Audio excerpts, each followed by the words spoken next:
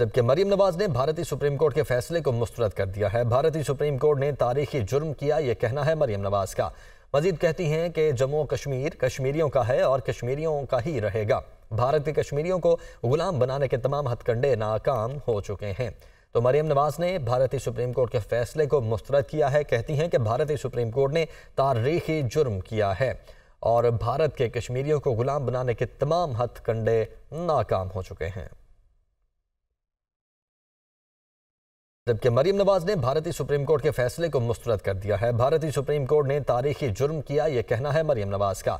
मजीद कहती हैं कि जम्मू कश्मीर कश्मीरियों का है और कश्मीरियों का ही रहेगा। भारत के कश्मीरियों को गुलाम बनाने के तमाम हथकंडे नाकाम हो चुके हैं।